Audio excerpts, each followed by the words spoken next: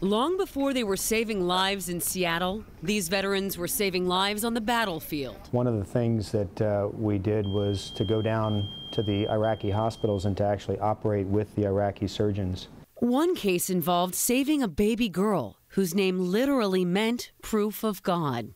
And so we did a tracheoesophageal fistula repair on this two hour old infant, and she did beautifully. And uh, those are kind of the, the experiences that you remember. I think we're both very proud of our service, serving our country.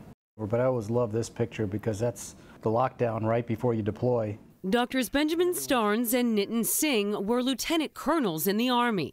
The sense of mission and purpose that carried both doctors through multiple deployments, totaling 30 years of collective service, is now focused on patient care as vascular surgeons at Harborview Medical Center. The thing about Harborview is that we're a major trauma center, but when you go to a place like a combat zone like Iraq at that time, it's, you know, trauma, it's, it's trauma on steroids. It's just big trauma. Today, away from war, both veterans are grateful to be back to their families and surrounded by others who have served. At Harborview, when you look around and you see, uh, you know, the, on Veterans Day, people who are veterans, there are so many people that have served. So it's, it's amazing the people that have volunteered for their country.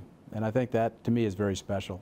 Both surgeons say that they hope people remember who they call the true heroes, the families left behind, the ones paying the bills, raising the kids, and worrying about their service members deployed across the globe. For HealthLink, I'm Amity Addrisi.